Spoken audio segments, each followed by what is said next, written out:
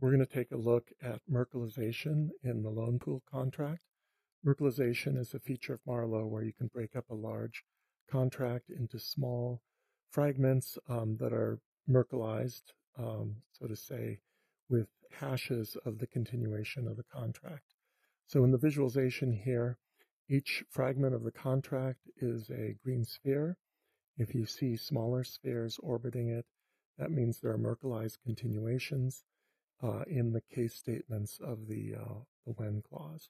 So now we can um, we can expand these, and we basically have a graph where we're connecting uh, the contract to its Merkleized continuation, and you can see the Merkle hashes here as little billboards.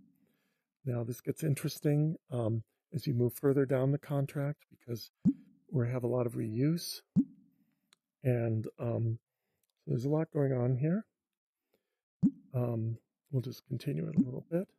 And this is a contract that we'd call um, kind of narrow and long. There's a lot of um, repetitious steps that you go down um, uh, the progression, but there aren't typically a lot of uh, case statements in the when clause. So the contract is wide if it has a lot of case statements, but it's narrow if it has a few, but there's a lot of repetition. And of course, something can be both wide um, and long. So we have um, uh, the hashes here. You can see the hashes. You can also click on a node and look at a web page that has the actual contract. So here we can see um, there are some uh, deposits. We've got um, uh, some notifies, some choices. So there's actually a lot, um, lot going on here. Deposit, a choice, uh, notify. So you can probe the contract that way. If you find um, an interesting or problematic spot, you can um, annotate it. So uh, here's an example. You might, um, I'm not sure this is going to work, but we'll give it a try. Here is an interesting location that needs further study. Okay, it looks like I got that.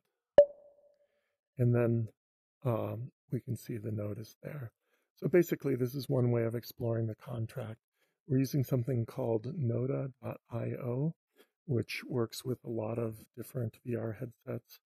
I'm using an Oculus Quest, um, the original version, but um, you can do this in a lot of different uh, headsets. So thank you.